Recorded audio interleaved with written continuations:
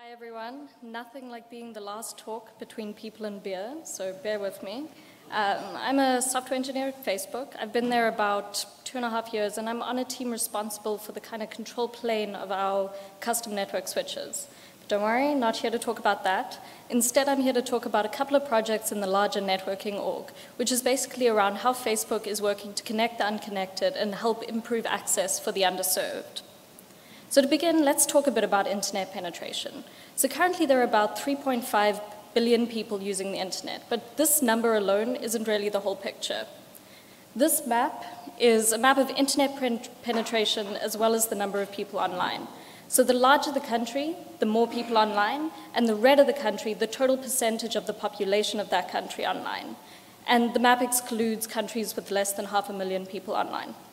So from this, you can see that internet users disproportionately come from the developed world. And even countries with a large number of total users have relatively low penetration. So for example, China has the most people connected to the internet in the world, but this accounts for only 52% of their overall population. And India, which has the second most people connected to the world, is even more striking, with only with internet penetration of only 15%. In fact, 75% of the world's internet users come from only 20 countries, which means that the remaining 178 countries have a combined internet presence of only about half a billion. So this pretty clearly shows that internet access is not evenly distributed in the geographical sense. So it's really important to contextualize raw numbers because internet access is becoming yet another divide between the developed and developing worlds. So you may be saying, but what about mobile internet? The future is mobile, all of that sort of stuff. And this kind of brings me to my next however. So there are 3.5 billion people using the internet. However, that doesn't really tell us about the quality of this access. So on this map, we have yellow representing 4G or LTE, with blue being 3G. And this is kind of a map of what, where there is good internet, kind of mobile broadband. And you can see that South Africa isn't doing too bad, at least in the population centers. This map, on the other hand, shows 2G in red, with purple being areas without any sort of connection. And definitely many of these areas are sparsely populated. For example, Canada is mostly purple because Canada is mostly a frozen wasteland. but apologies to Canadians. Um, Optimistic estimates still put the number of completely disconnected people at about 1.6 billion, which means it's really important to remember and realize that despite the massive impact that the internet has on all of our daily lives, uh, many people, in fact about a fifth of the world's population, remain completely unconnected. Which again is that communication technologies are not evenly distributed. And in this case, I'm talking about connection speed. And this is especially pertinent to us here in sub-Saharan Africa, as this is one of the most poorly connected parts of the world, with less than 10% of the world's internet users and most of that 10% on 2G speeds. So to kind of summarize what I've been saying about internet penetration, 60% of the world doesn't use the internet. 20 countries account for 75% of all internet users, and there's relatively few people who have access to mobile broadband. Finally, there are 1.6 billion with no internet access at all.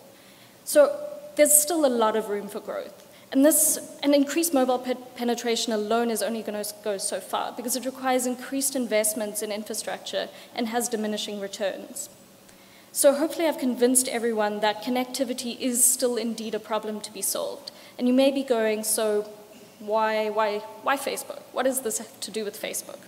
So when you think of Facebook, you're probably thinking of things like funny cat videos and stalking old classmates from high school. Totally legitimate use cases. Um, however, Facebook's overall goal is to make the world more open and connected. And here's a kind of pixelated picture of Mark Zuckerberg to make my point. At Facebook's F8 Developers Conference last year, Mark revealed Facebook's 10-year plan, which is basically to give everyone the power to share anything with anyone, and this is based around developing technology in three key areas connectivity, artificial intelligence, and virtual and augmented reality, which is why I'm here today talking to you about internet penetration. Because connectivity plays an especially important role for us. If we want to reach this goal of being able to share anything with anyone, as well as in order to continue to grow our community and the company, we really have to help connect the world in the most literal of senses. So a couple of years ago, we launched the Connectivity Labs to develop new technology that can reduce the cost of deploying internet infrastructure.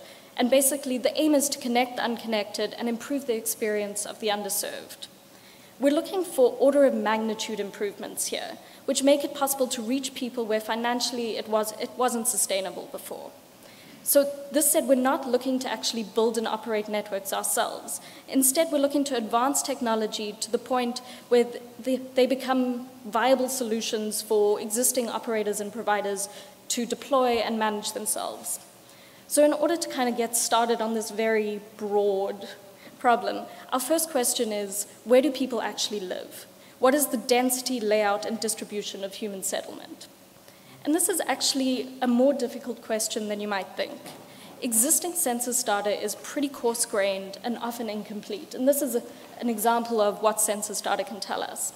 However, using satellite maps with help from our AI and data science teams, Facebook was able to achieve a much more granular view, and this allowed us to kind of better answer these questions in light of where people are actually living and how they're actually living. So we quickly realized that one solution doesn't really fit all. So we broke the problem up into low, medium, and high density areas. In low and medium population densities, the main problem is limited or no connectivity. These areas are often remote and difficult to reach, lacking basic infrastructure, even the roads required to bring in connectivity equipment. And in order to avoid a lot of these problems, we've mainly focused on aerial solutions. In high density areas, which can be like dense urban settlements to rural, the main problem is the quality of connectivity. With so many devices and limited connection points, interference and a lack of bandwidth can, be, can become real problems. And because these areas often already have access to internet via the ground, we've focused on terrestrial solutions. So I'm going to start by talking about two of these terrestrial projects, Terragraph and Aries and both aim to improve the speed, efficiency, and quality of internet connectivity. And this is something that both the developed and developing world suffer from. In the developing world, mobile operators are often unable to achieve speeds better than 2G, while in the developing world, Wi-Fi and LTE infrastructure is unable to keep up with the growth caused by the consumption of videos and images at higher and higher resolutions. Thank you, Facebook. So you may be asking, do we really need some fancy new solution? Can't we fix this with existing technology we already have? Like, do we ne really need to make this more difficult than it is? So let's take a look at what some of this existing technology is. Generally, internet is provided in one of three ways, via copper or fiber optic cables, or through cellular base stations. And this is the world as it currently is. Copper, however, has limited bandwidth due to its physical nature. And, and, while fiber handles the kind of issues of limited bandwidth by offering several gigabits of data transfer speed, the cables themselves and laying them are expensive and cumbersome as it requires actually digging up the earth, which means that it's not viable as a large-scale urban solution for most countries. Then on cellular frequencies, on the other hand, are generally touted as kind of the new way of connecting the unconnected. And this is, this is definitely true. From a technology perspective, this seems pretty ideal. However, it's impeded by a lack of spectrum.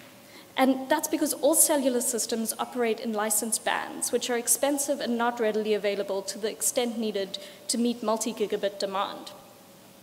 So the Connectivity Lab was tasked with improving existing solutions by an order of magnitude, finding ways to transfer more data faster for a lower cost. The first of these projects is ARIES, which stands for the Antenna Radio Integration for Efficiency and Spectrum. Uh, today, 4G and WLAN systems use MIMO, which stands for multiple input, multiple output. And the progression to 5G is generally thought to lie through massive MIMO, which uses a large number of antennas. ARIES is kind of the realization of this sort of technology. It consists of a base station with 96 antennas and supports 24 streams simultaneously over the same radio spectrum. And this is achieved through something called spatial multiplexing which in layman's terms basically just means that each antenna transmits multiple separately encoded streams, multiplexing the same time frequency resource. Not only that, but because, because of its long range, it can be used to beam internet to surrounding rural areas, which is pretty cool because it's an alternative not only to costly spectrum licensing, but also the costly procurement of additional base stations needed in order to traditionally reach these areas. The next thing I'm going to talk about, Terragraph, is also related to spectral licensing in some sense. So Terragraph is a multi-node wireless distribution network, which operates in the unlicensed 60 gigahertz bands and it's optimized for high volume and low cost components using commercial WiGig off-the-shelf components. And this image kind of gives a visual introduction to Terragraph. Ignore the confidentiality NDA note there, it's fine. Um, so we have two main types of nodes, distribution and client nodes. Distribution nodes make up the base of our multi-node tracking topology, and they emit, they emit data at at the 60 gigahertz frequency band. They use the cloud for intensive data processing and self-organizing the network. And they're generally placed on street lamps or robots or other so-called street furniture, which is basically anything that's outside and is unlikely to move. Client nodes, on the other hand, are placed on the sides of buildings. They're used as additional points of presence for Wi-Fi, for cellular small cells, or for bringing Ethernet into buildings. And so this probably sounds and looks a lot like a mesh network, which isn't a particularly new idea for, bringing, for providing internet, especially in South Africa, which has had projects like this, like the mesh potato, with varying levels of success due in part to Telkom. Um, another part of the issue has been consistently the issue of spectral licensing. And so this is South Africa's spectrum allocation chart. And it's important to remember it's logarithmic. And we're most interested in the millimeter wave spectrum, which is the bottom row from about 30 to 300 gigahertz. Comparatively, this range has an abundance of bandwidth and is seen as the most promising enabler of future high bandwidth communications.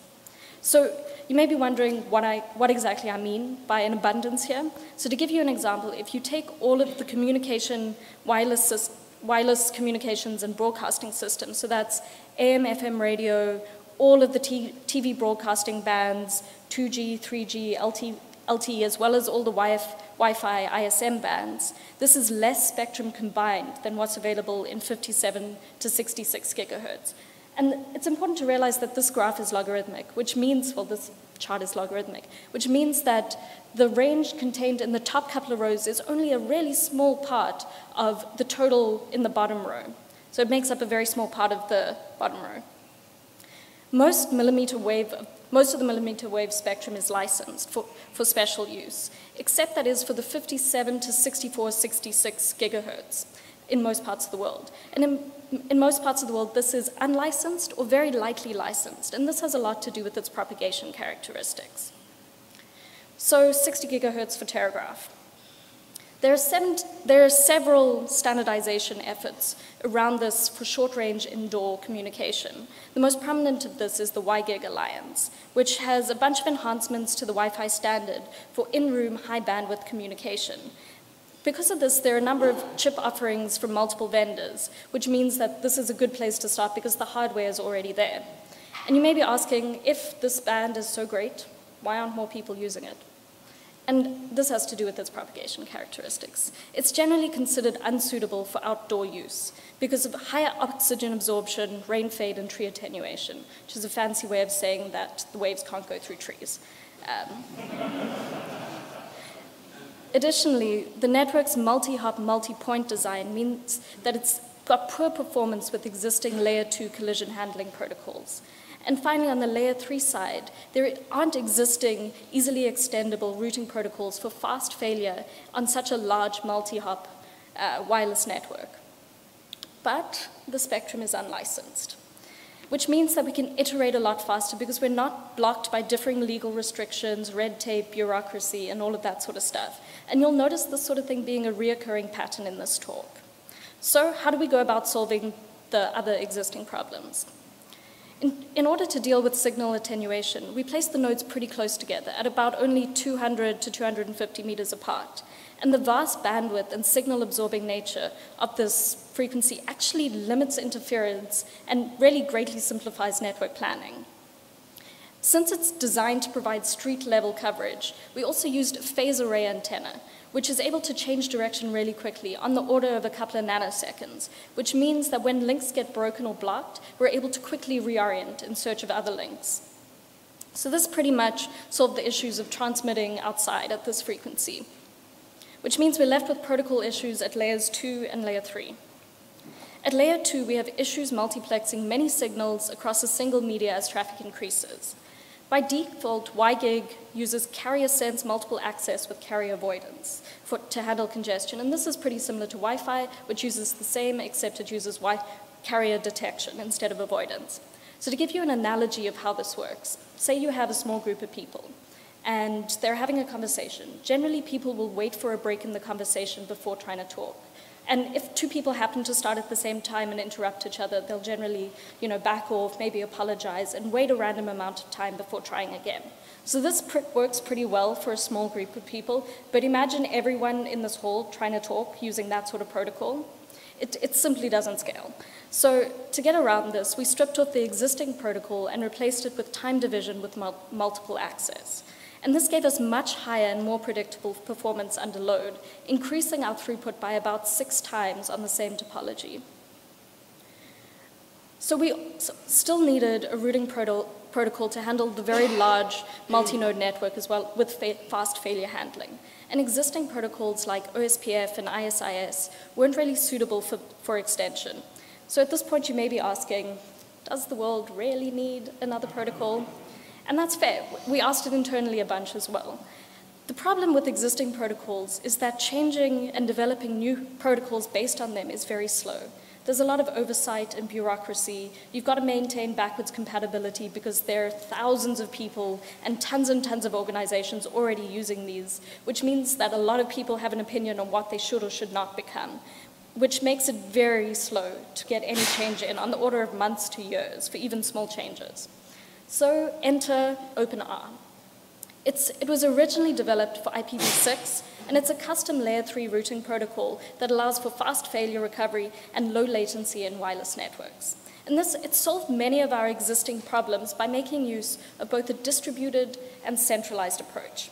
And at this point you may be going, but Nina, that doesn't make any sense. How can something be both distributed and centralized? And that's, that's a fair question. So on the distributed side, each node is able to handle failure, new links coming up, change in paths, and the cost of links on its own. And because it's distributed throughout the network, this work is shared by all nodes, which may, means that each node is able to relatively quickly compute um, compute the attributes of the local network around it, allowing for pretty fast convergence. The expensive computation, however, that still requires an overview of the whole network, like for example, calculating the optimum traffic engineered paths, is still possible via the cloud. And the cloud is then able to do these computations and disseminate the information out to each node, which gives us kind of like a nice combination of both the benefits of distributed and centralized computing, which helps OpenR to route fairly efficiently within this kind of network with so many mesh nodes. So these together, as well as these together helped us get to the point where Terragraph could be designed for easy installation. And it's currently deployed at Facebook's campus. You can see these all around the campus um, with Wi-Fi names like My Little Terragraph. Um, and there are plans to deploy it in San Jose for some real-world testing. San Jose is a town that's pretty close to the Facebook campus. We're also considering it for inclusion in the Telecom Infra project, which would mean that plan, the plans and hardware designs and software would become available to everyone, which brings us closer to a place where any vendor can start to deploy this sort of system. So to summarize stuff on Terragraph, Terragraph is a multi-node wireless network. It operates in high-density urban areas on the unlicensed 60 gigahertz bands, it uses off-the-shelf components, meaning that it's optimized for high volume and low-cost production. So that's hopefully a bit of a high-level overview into two of our terrestrial pro projects, Aries and Terragraph, with the aim to improve bandwidth for both urban and rural areas. But this doesn't really tell us anything about what to do for people who have no internet access at all. In the traditional model of connectivity, you have a tower that propagates radio signals out to people's devices. And in order to do this, mobile operators need extensive infrastructure. They need land rights, equipment, access to initial sources of fiber or microwave, and of course access to power to run all of this sort of stuff. Which means that using this model, reaching remote or low density areas becomes very financially difficult, as there are fewer potential customers and you have to build more infrastructure to reach them. Which means not only that, but people living in these areas are often living in extreme poverty, which means it's highly unlikely that these operators will ever be able to recoup their costs. So while we've made tremendous progress, connecting more than 90% of the Earth's population to 2G in some form or another, getting to 100% is unlikely in the near term using conventional means. As, as providers are just going to be simply unable to kind of recoup their investments which means that to avoid these issues, we've mainly focused on beaming internet from the sky, using low Earth orbits, low Earth orbit satellites, and unmanned aerial vehicles, as well as lasers. So we initially had plans to launch a satellite which would cover sub-Saharan Africa and provide access in areas not, not already covered by cell towers. This was part of SpaceX's Falcon 9 payload. And this didn't really go as planned. Um, there, there, was an accident during testing, um, and the rocket and the satellite are no more. Real life, actual video. Um, so, given the costs, this has largely been placed on hold, which means I'm going to pretty quickly move on to another approach we're trying. So, has anyone here heard of Aquila? Okay, a couple of people. Uh, it's the most well-known of Connectivity Lab's projects, probably because it involves flying objects and lasers. And it aims to provide internet to remote areas through lightweight unmanned aerial vehicles. And these will fly at about 18 to 28 kilometers up and beam down internet in a 60 kilometer radius. So the mechanisms of this are as follows. Using an internet gateway somewhere on the ground, this will beam up internet to the UAV, the UAVs in turn are able to share this internet and can communicate with each other via free space lasers. They're also then able to beam this internet down to communities below. And this is pretty cool because it means that you don't have to fly the UAVs directly near an urban center in order to get access to the internet. Instead, because you can mesh them, you can reach far greater distances that are that would be normally unable to be reached with such a limited kind of radius. Of course, there are a number of challenges with this. They need to stay up for as long as possible with as little human interaction as possible. They also need to connect to each other via high-speed links so that they're able to rapidly send and receive data. And finally, if we're going to hand this over to operators to manage on their own, they need to be low cost and easy to manage. So getting into some of the design around this, because Aquila will be flying above commercial air traffic and the weather, the air is very thin, at only about 5% that of sea level. Because of this, we want the wing aspect ratio to be as high as possible because this op optimizes lift to drag, which means that the plane needs to be really big. And in fact, its wingspan is greater than that of a Boeing 747. And here's an image with real little people in it to kind of give you an idea of the size. Of course, with such a big wingspan, it also needs to be as light as possible. And it weighs about a third of an electric car. Its single wing is made from a cured carbon fiber, which is stronger than steel for the same mass of material. And its low weight and large wingspan means, means that it flies very slowly, at only about 40 kilometers an hour. And this is in kind of direct contrast to conventional gliders or commercial aircraft, which actually means that we needed new aerodynamic models in order to model this, because there simply just isn't anything else flying at this speed. However, given the slow speed and the low drag, it also uses a very low amount of power, about as much as three hair dryers. And while it'll eventually include solar cells, initial test aircraft use batteries. And this was so that we could get early indications of handling aerodynamic performance, the autopilot, so on and so on. Um, but the low power means that it can stay aloft for months at a time. However, all of these design things together are only really half of the story. In order for Aquila to succeed, the inter-vehicle communication is vital. So you may be asking, why lasers, other than the fact that I get to stand here and say lasers a couple of times. Um, most wireless communication technologies use the radio frequency part of the electromagnetic spectrum, while free space lasers operate in the visible and infrared. And this has a couple of benefits. There's less interference, there's potential for far higher transfer rates, and it's not regulated, which means you don't have to worry about cross-country regulatory differences when flying 25 kilometers up. It also allows the teams to iterate much faster on this sort of technology. That said, of course, with any good thing, there, it has its own specific challenges. And this is because it works by transmitting laser light through air between transceivers that can be spaced hundreds of meters to hundreds of kilometers apart. But in order to maintain high speeds, the optical detectors need to be as small as possible. And in fact, to get a gigabit per second rate, you need an optical detector of one millimeter squared or less.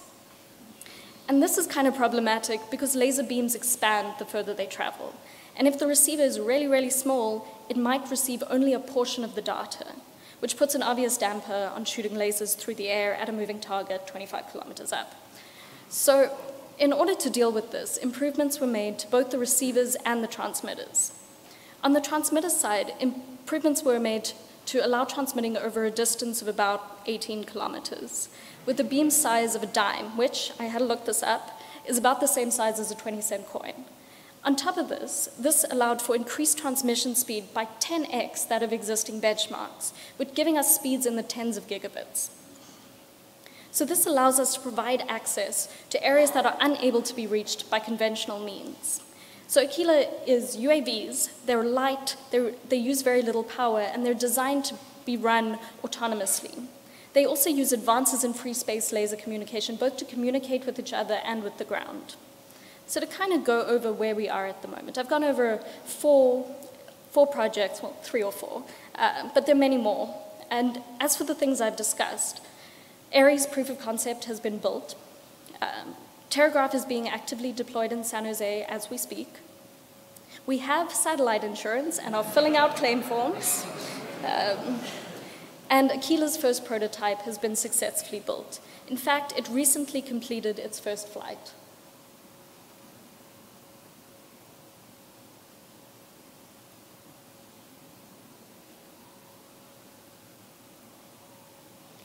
So while there are many remaining challenges, not least of which is driving down costs, Facebook has begun working with the industry in order to push the boundaries of technology.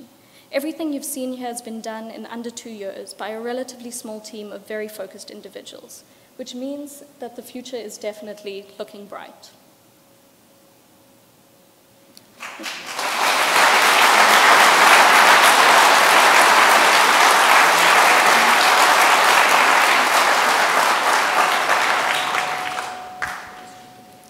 Questions?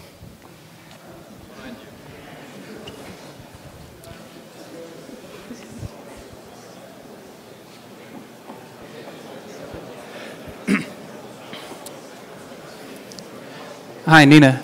Um, uh, thinking specifically about Terragraph, do you plan to um, open source um, all of the things that you, uh, all of the innovations that you're making there? Um, or license it to operators? And uh, how do you do you foresee um, uh, how would you deal with or uh, what do you foresee the possible impact of um, vendors taking what you've got and customizing it and making it proprietary? Um, okay. So we definitely are looking at making it public. Facebook st started something called the Open Telecom Initiative.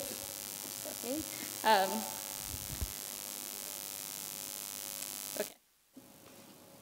So the Open Telecom Initiative is basically Facebook and a bunch of other companies all working together with operators and other people who work in kind of telecommunications infrastructure. And these people are releasing plans and hardware and this sort of thing in order to kind of expand this field. So we're definitely considering adding it to that. As for people taking the technology and changing it and closed sourcing it, I, I mean, I feel like that's a pretty legal question. So I would guess that the licensing probably wouldn't allow for that but I would have to defer to legal. Yeah, sorry. Um, I, I noticed you didn't mention white spaces at all, which is um, going to be opening up in South Africa soon. Maybe that's for bandwidth issues, um, but it has a good distance and quite a lot of band, uh, quite a lot of uh, wavelengths anyway. Sorry, I didn't hear the first word you said.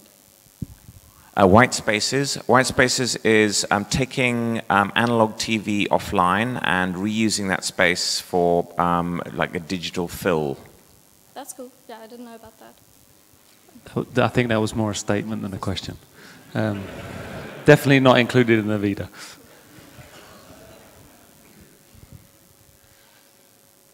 Uh, how are you going to keep those lasers pointing on the target from one dynamic platform to another over 18Ks? Sorry, I missed the end of this. I, I The, feel like this is an echo you, you're talking about a laser with a beam of one, yeah, a few centimeters being aligned across 18 kilometers from one drone to another. Yeah, so the receiver is actually pretty interesting. I didn't really get into it, but they've created a receiver that is, you'd imagine a receiver is just something really small, but it actually looks almost like a hat, with me, with lots of strands that are able to collectively pick up the laser beam from multiple angles and then make sense of the data that's being sent. So the receiving surface is much bigger actually than the laser beam itself.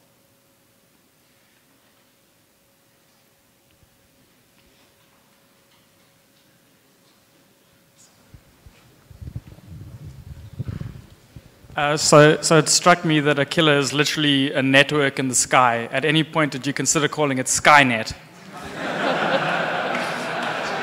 Tempting. Yeah.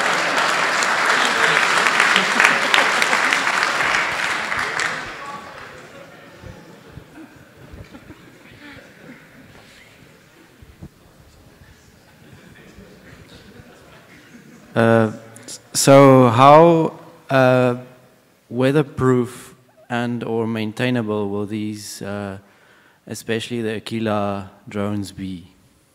So the idea is that Aquila will fly above the weather, so won't have to worry about things like wind. Um, there's also very little else up there. Uh, generally, they're planning that they'll be up for about three months at a time and have minimal maintenance when they come down. It'll basically be one giant wing that is a solar panel with a laser attached to it. So there's very little moving parts on there and very little kind of actual infrastructure.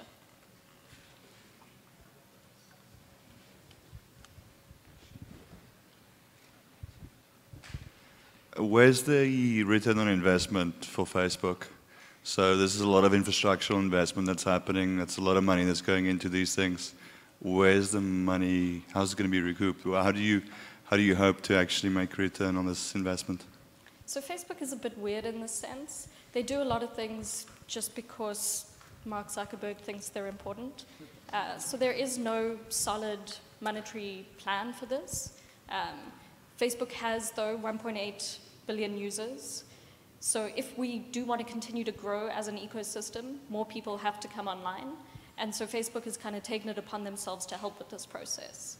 There are other big companies doing the same. Google has like their weather balloon internet things. So there are a lot of companies that have excess band, uh, excess budget, I guess, that are making more money than they can realistically spend on just improving their core business and are doing things that are philan- philanthropic.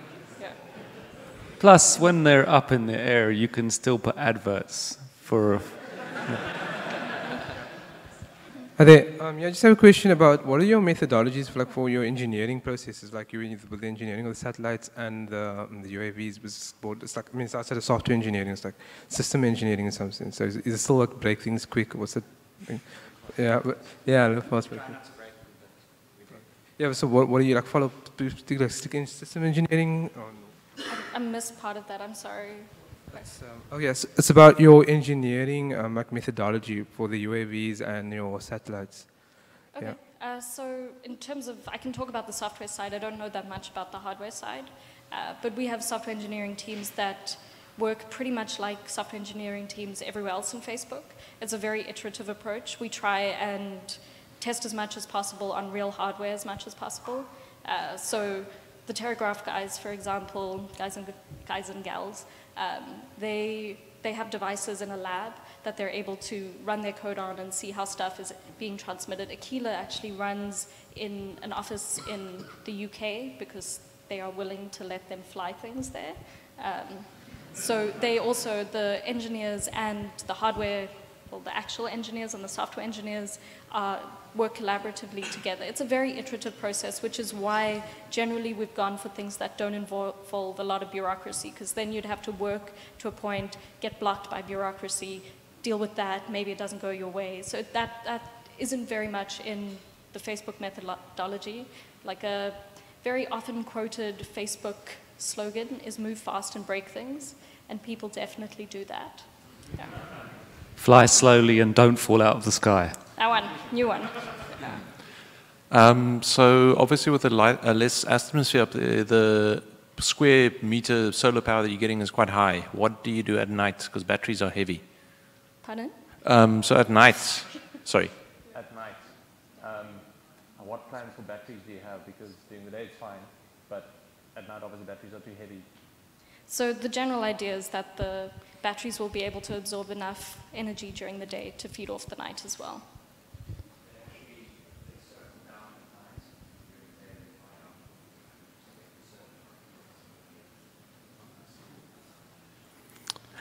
Um, my question relates to the other gentleman's.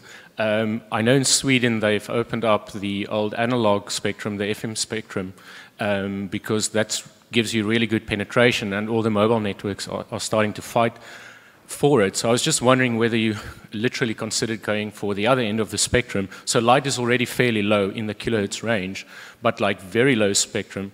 Um, how, how, that, whether you considered that at all, because penetration is better.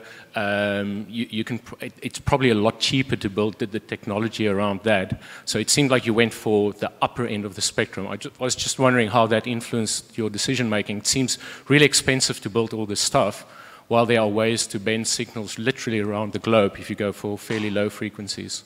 Sure. So I'm not sure if you're talking about a kilo here or all the stuff at 60 gigahertz.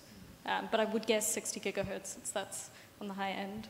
Um, I was actually thinking of both. So in, in um, or built, built up areas, whether you could go for something in, in, in a lower range bec because penetration would just be better. Um, but, but even for, for the uh, high up in the air systems, you could go for something that's in the low frequencies.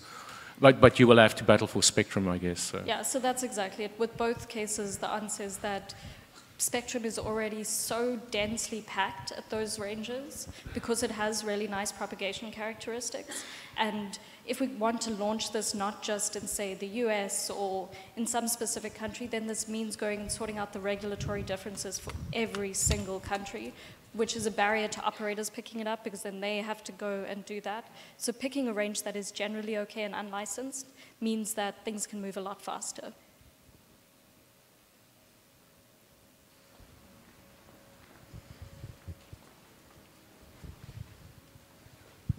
Um, I have a question. How much power does your lasers use that on the Quill, Quill uh, I'm not sure I'm saying that right. I, I, can't give you exact figures, but very little. There's a paper actually published in Optica, which discusses all of this technology and would have all of those specific details as well, which I can give you a link to afterwards if you want.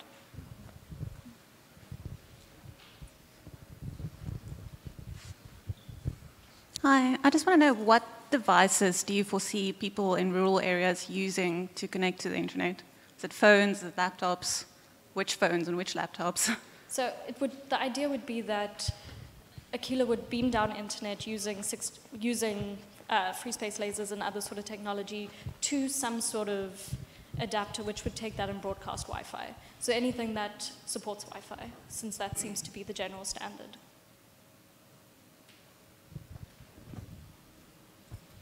Um, with Aquila, how many points can how many points can be made in the mesh network? Uh, so you've got presumably more than one laser on each um, drone.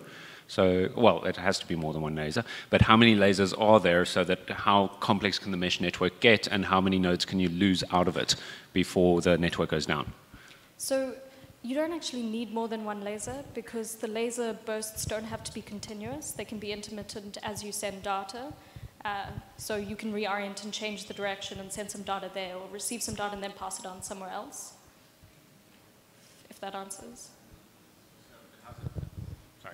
Okay, so it's, it's receiving the data via a standard um, megahertz range or whatever, um, and then it's transmitting from, from one drone to the other via laser. Um, well, the data it receives is also via laser.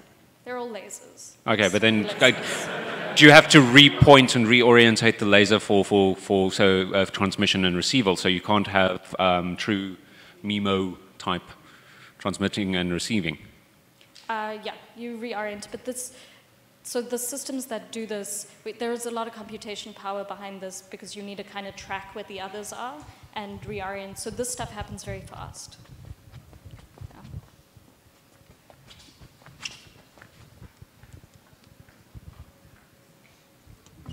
Uh, is Facebook looking at battery technology? Because devices need batteries and rural areas. It's difficult to charge a phone. I can't talk about that.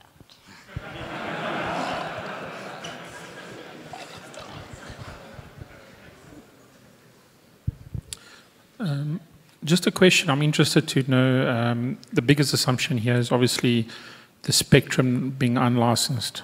Um, if that obviously becomes false, what then? So, because Facebook is such a large multinational country, company, they're working with various countries, various governments to try and ensure that that doesn't happen. If it does happen, then they'll deal with that, and a lot of the the technology can be used at slightly different frequencies, but it would be a massive loss, of course. But I mean, we've already lost a satellite, so. You know. Hi, Nina. I just want to make sure for all our peace of mind that Facebook has put enough thought into uh, not crossing the beams.